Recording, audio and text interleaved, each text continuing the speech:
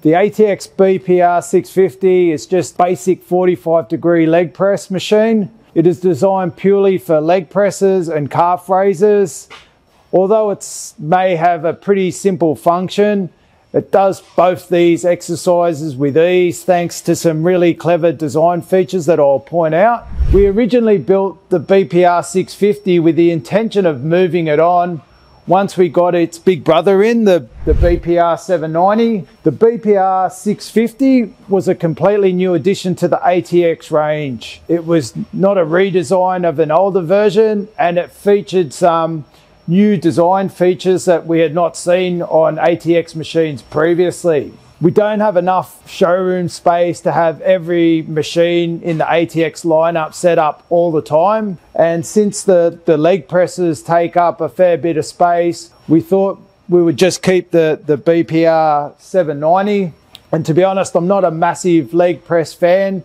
And for years, I never used to have them as my suppliers at the time didn't have any my preference in my own training was just doing squats and Powertec had the compact leg sled, so I used to use that. However, after setting up the BPR 790, the old 650 is still here. And that would be for at least a year, a year and a half, if not longer.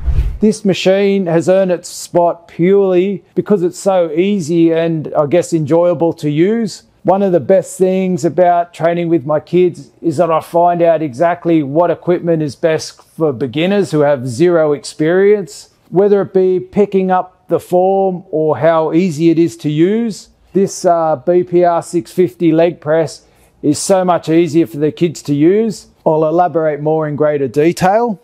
The BPR 650 saw the introduction of a whole new roller system. It is different to their previous leg machines and the system they've got on the, the BPR 790 and the CLP 700. Both these machines featured curved bearing driven rollers that operate on circular guide rails.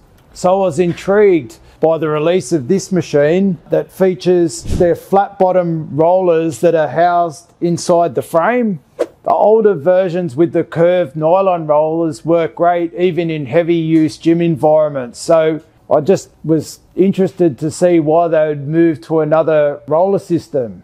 After using the machine now for over a year, I know why. The, the rollers or casters are like ones that you'd see in some sort of industrial application. They operate smooth and quiet. It just glides. This part of the frame is made from 4 mil thick steel. So by doing this, they don't need to use the guide rail system. This structure serves both purposes. Plus, it gives it a cleaner look. The machine is built for a load rating of 500 kilos, although on the weight sleeves we can only fit nine of our basic style 20 kilo Olympic plates. So that's 360 kilos in total. Personally, I've not got near that, but if you need more resistance, you can get a pair of the thinner 25 kilo powerlifting plates, or you can just add resistance bands. It comes standard with the band pegs, and the bands are simply looped around the bottom and then over the weight horn. The 700 mil wide foot plate allows you to vary your foot position. There's plenty of room on there. Now it's got this nice little steel bar welded at the top of the lip, which acts as a handle. You use that when you get in and out of the machine. It is a nice touch. You know, it's not really necessary, but just demonstrates the, the level of detail that's gone into this design. Now, my favorite part of the BPR 650 design is the start and stop mechanism. This is the main reason why this leg press is so easy to use. You start and stop at the same position. The mechanism operates off a handle which you push forward or back to, to um, disengage the weight carriage. This thing's got a bit of a tricky mechanism, the new innovation. Oh, the little handle. Yeah, so just... Very tricky. A little handle Ready? There. Oh, look at that. And I actually like it. It's actually got a nice flat bit here for your calves. And it's good too, it's actually a nice handle range here. Some people who are vertically challenged like me, sometimes, you know, when you sit in the seat, you can't reach handles. You got to, uh, Yeah, uh, yeah. uh, so that's a good, good position. But like I said, it's good. It's got the nice flat bit for calves. A lot of leg machines don't even have that. they'll have the whole angle, so your foot's at a weird angle. And it's very easy. But like I said, once you're doing them too, if you're new to it, like I said, use this as a safety in case you do train by yourself and you want to go heavy. But let's just say you're going super heavy, you think you can get one more rep, uh, you can't. At least you can get out and you're not going to be crushed sitting there waiting for six hours for your mother or your wife to get home from work because if that comes down on you and your legs are up against your chest, guess what? You're probably not going to get out for a long time, even if you're because you, even if you're that exhausted, I've seen guys where it's stuck on them and they can't even, they're just like, so if it has a safety mechanism, use it. It doesn't make you a wimp not to use it, so. In comparison, most leg presses in this market or price range have multiple teeth, like the BPR 790, which engage the weight carriage. So you have to push up slightly and pivot the teeth out of the way. Personal trainers will know exactly what I'm talking about here. When you are new to the machine or have an inexperienced lifter, it can be a little challenging.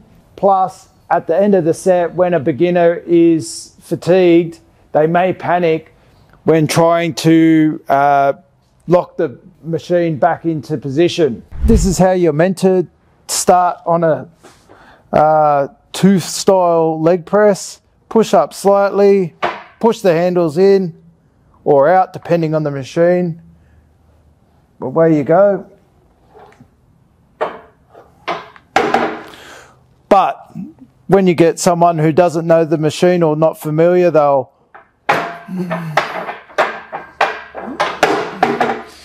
um, so yeah, but once you get used to it,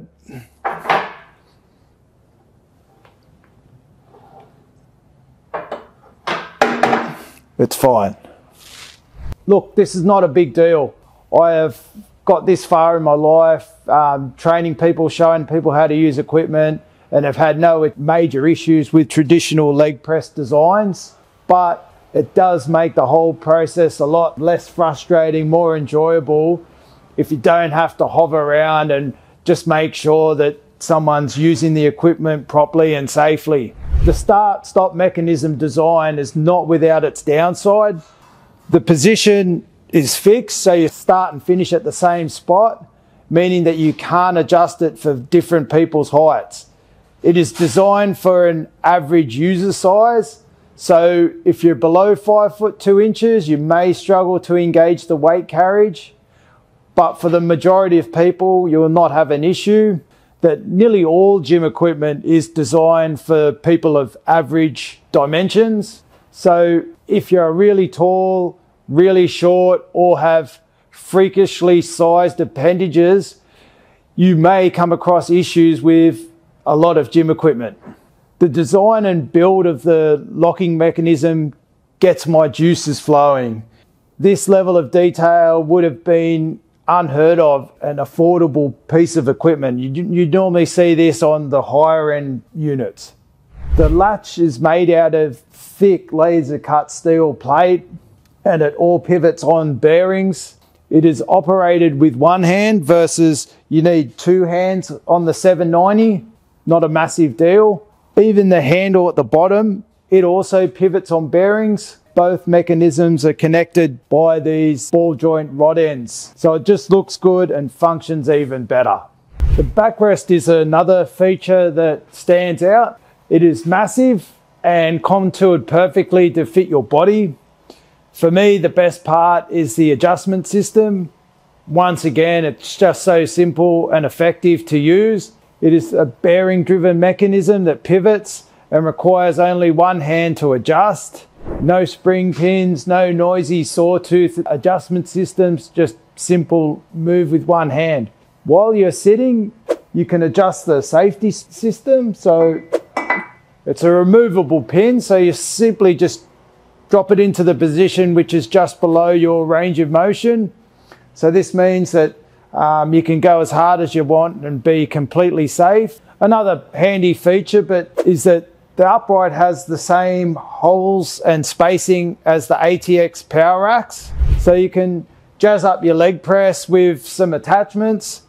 Now, not all will fit, but if you're not sure which ones work, just drop us a line and we, we can let you know and, and even give us a, a, a list of what items you'd like to use and we can set them up and show you what works and what doesn't work. We are blessed to have two great leg presses in the ATX lineup. So before you lose any sleep over deciding between the two, um, understand that this is ultimately a great position to be in. So either way, you're going to end up with a great leg press. The choice is easy if you really want to do hack squats. Obviously get the 790. As for the leg press part of the equation, if you're a hardcore lifter, I would probably opt for the 790. That is not saying a hardcore lifter can't buy the BPR 650, but a real serious trainer will appreciate all that the 790 has to offer. But if you just want a leg press and you're not going to go mental, then get the BPR 650.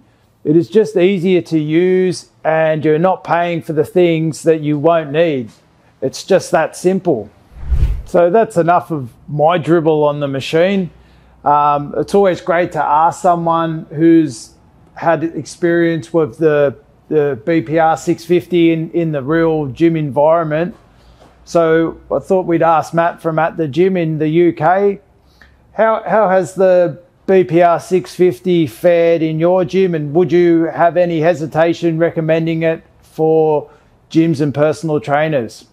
Well, here is your answer. Uh, Jack, if you wouldn't mind scanning round. So we've had it in the gym, let me think, maybe 18 months, I reckon, whenever ATX released them. We had some of the first batch on a container. I think we even had them before ATX.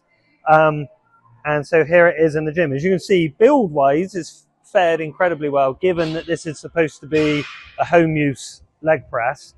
Um, so yeah, we've got no issue in putting it in our full commercial gym. So we have over 500 members using it daily. Uh, so it's fared incredibly well in that regard. Well, thanks for that, Matt. As you can see, even though this is classified by ATX in their range as being a domestic unit, uh, you can see that it holds up remarkably well in a commercial environment. Um, personally, if if you asked me without any knowledge whether this was commercial or domestic, if I took one look at it, I'd say it would be, um, you know, in the commercial uh, space as opposed to domestic. It's the build and and the how, how well it performs under weight. Um, yeah, it's definitely up there, so you won't have any problems for if you're using it at home. It'll take what you can throw at it. But as Matt said, for users that like the lighter carriage, um, this could be a really good option if you're using it in your gym or personal training studio.